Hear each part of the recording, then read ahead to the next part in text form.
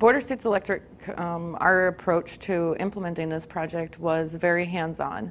Uh, we, as a company, like to take ownership of a product at the at the planning stages, so that as we go through the the planning process, the um, technical and functional specifications um, through testing and implementation. We want to be there side by side with the with the software vendor and have the knowledge so that going forward we can be self self supporting and um, also leverage the product um, for the greatest benefit. In accepting Border State's approach to implementing um, softwares, ReadSoft um, was very receptive to it and they were very willing to work with us um, and, and, learn our approach so that we could have a successful implementation. Uh, they uh, were, were, willing to um, give that concession, if you will, and allow us to be the owners of the product um, and essentially just guide us through the process. I think the biggest challenge that border states uh, faced um, in implementing this product is um, getting a shift in work philosophy from, from the end users, from the AP associates. They were shifting from a data entry uh, focused position to an automated process management position. So it was just getting them to uh, accept and um, essentially they needed to own it on their part as well, um, just so that they, uh, the, the end user buy in uh, trying to get them to um, get as excited about the product as the decision makers were. The biggest impact is the, the shift in work philosophy from, from data entry to um, automated process monitoring. That is uh, most definitely the biggest impact that we've had. Um, in addition to the, the work efficiencies, you know, but the one that you see the greatest um, on the end users is the, the shift in how they need to work. With the implementation of the invoices, as in addition to the document uh, cockpit and web cycle portions of this, um, we had to also implement the SAP Archive Link technology and the um, external storage technology.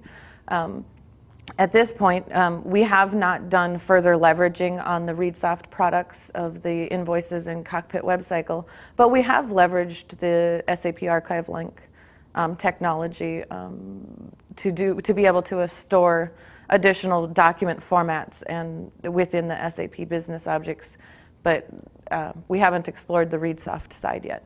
Advice that I would give to uh, any uh, company considering the process or document automation would be to um, own the product. Uh, when you make the choice uh, to go with a software vendor, um, own the product. And, and that's coming from the background of Border State's uh, philosophy of owning the product uh, when we, once we purchase it. Um, I think you get um, a, a greater in depth knowledge of the product and how it should work for you. And then you can also, going forward, you can leverage it um, to the greatest company benefit. I, I, think getting in at the ground, at the, at the foundation, and go, taking it forward is going to be the greatest benefit to any user. I think uh, document, you know, automation is relevant um, in nearly every, every industry. Um, you hear about all the green initiatives and you know going paperless. This is just another component to that um, that forward thinking, uh, being able to um, eliminate the stacks of paper on everyone's desk and oh that's on Sally's desk or in her desk drawer or is it under lock and key. I think that being able to have that visibility, um, that workload management. And even just the document retention um, for audit purposes, having it readily available without somebody to have, having to go dig through a file cabinet.